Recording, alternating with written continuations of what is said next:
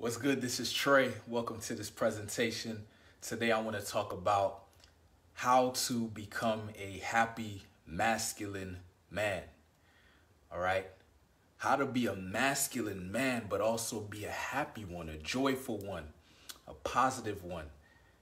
You know, when you decide to start living, like really living, going after what you want, you know, facing your fears, you know, being assertive, you know, pushing through adversity or obstacles or barriers that get in your way. Like to be a, a masculine man, to me, it means you know what you want and you're you're willing to to be challenged by you know the opposition by you know other people challenged by life you know life's gonna throw different things at you but you enjoy the process of just exerting your masculine energy towards your goals, man.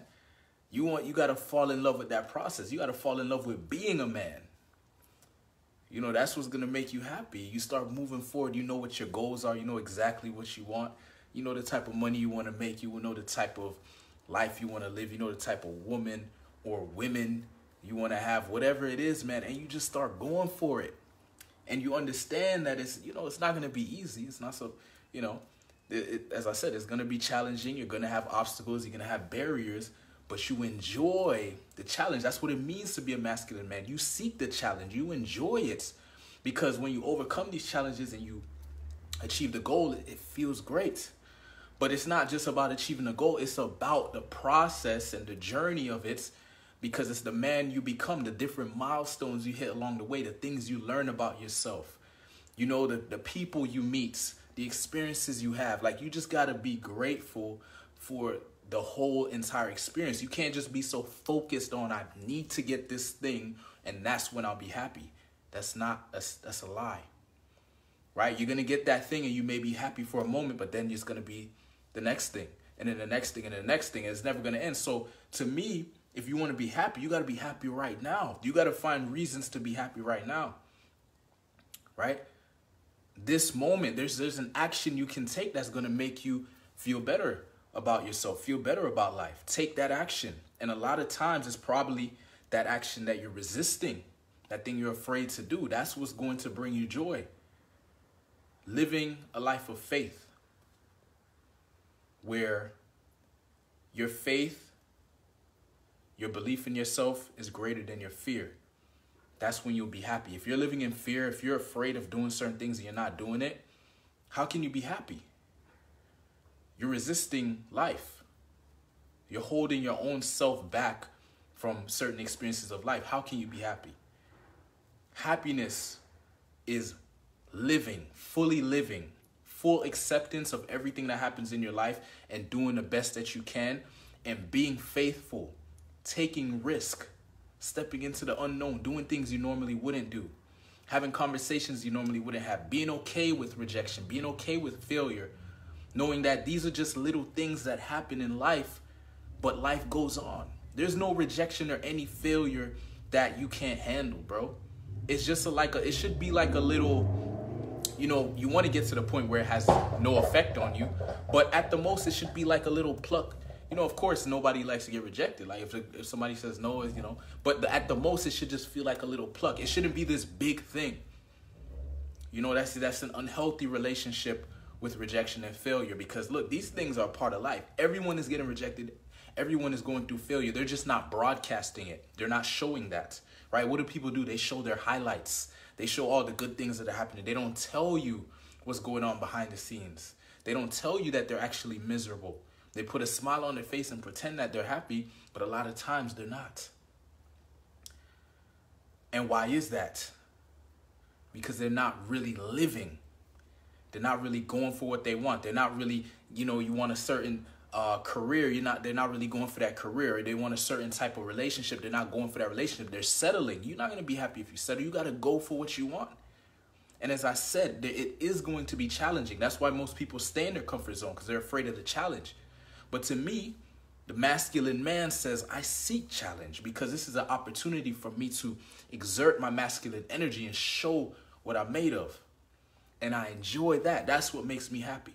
So we got to fall in love with being a man. We got to fall in love with being masculine, being assertive, being proactive, being bold, being courageous, being faithful, having being able to express unconditional love. That's a very to me that's a very manly characteristic. It's not easy to express unconditional love. We all have conditions. Or oh, that person needs to be nice to me first. That person needs to do this first. No. What if you just gave love unconditionally to everyone? What would what would you attract in your life? I have some amazing conversations and meet some great people because I just give love unconditionally. And what does that allow? That allows connections to happen. It allows me to connect with others, connect with the universe, right? Because I'm giving positive positive energy. And there's a um a snowball effect effect when you when you brighten up somebody's day by by sharing love, sharing good energy, then they take that energy and they they uh, transfer it to someone else, and that keeps going. And it started with you. And that's to me, that's happiness, man. When you know that you have the power to change someone's life, to to make put a smile on someone's face, that's happiness. You want to be happy, you got to make others happy. You gotta you gotta live a, a, a joyful life. You gotta live a life of positivity. Don't accept negativity. When you see your mind going negative, don't accept it. Reframe it right away. How can I see this in a positive light? Right?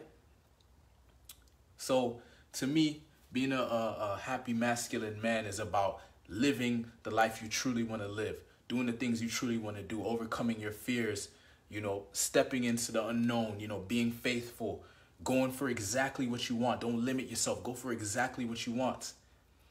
And enjoy the challenges because the challenges is what strengthen your character. And look at the growth. Watch the growth. Keep your eyes open and pay attention. You are growing. You're evolving. When you keep moving forward, you're getting better.